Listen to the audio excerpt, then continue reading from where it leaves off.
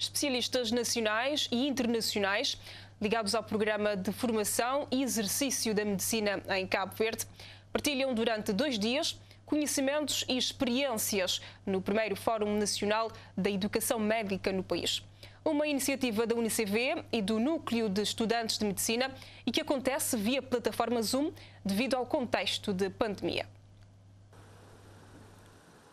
Implementado em 2015 graças a uma parceria entre Portugal e Cabo Verde, o ensino da medicina é um dos maiores desafios abraçados pela Universidade Pública e está prestes a gerar os primeiros frutos, colocando no mercado uma leva de 17 médicos formados no país. São eles os primeiros alunos do mestrado integrado em medicina, os protagonistas deste primeiro Fórum de Educação Médica, que reúne, através da plataforma Zoom, devido ao contexto da pandemia, especialistas do país e do estrangeiro à volta de temas relacionados com o ensino da medicina e o melhor modelo para Cabo Verde. Na abertura do evento, a reitora da UNICEV discorreu sobre o longo processo de implementação do curso, destacando as mais-valias do mesmo para o país. O Estado de Cabo Verde, através da UNICEV, financia grande parte da formação dos, do, dos eh, estudantes de medicina da Universidade de Cabo Verde, cujos custos de formação vão muito além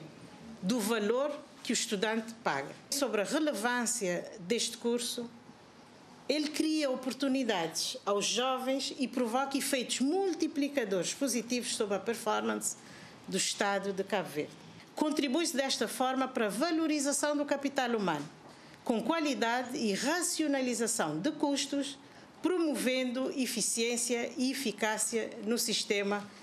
cabo-verdiano. O representante da Organização Mundial da Saúde, Hernando Agudelo, congratulou-se com a iniciativa e com a formação dos primeiros médicos em Cabo Verde e alertou para a necessidade de se investir cada vez mais no setor, maiormente neste contexto da pandemia, reforçando a sua resiliência para que o país possa alcançar o objetivo 3 do desenvolvimento sustentável, que é de assegurar uma vida saudável para todos. Em representação do Ministro da Educação e no seu primeiro discurso público enquanto governante, a Secretária de Estado do Ensino Superior reiterou o engajamento do Executivo na formação de médicos no país, não obstante os custos elevados. Não tem preço uma formação em medicina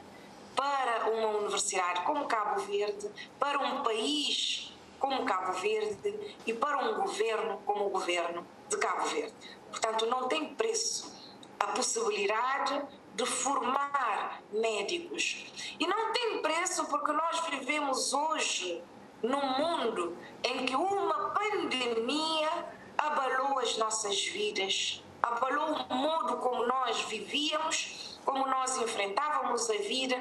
e como nós planeávamos o futuro. Ensino médico em Cabo Verde como estratégia para o desenvolvimento dos recursos humanos para o Sistema Nacional de Saúde e o futuro da educação médica são alguns dos temas a serem debatidos ao longo dos dois dias do Fórum.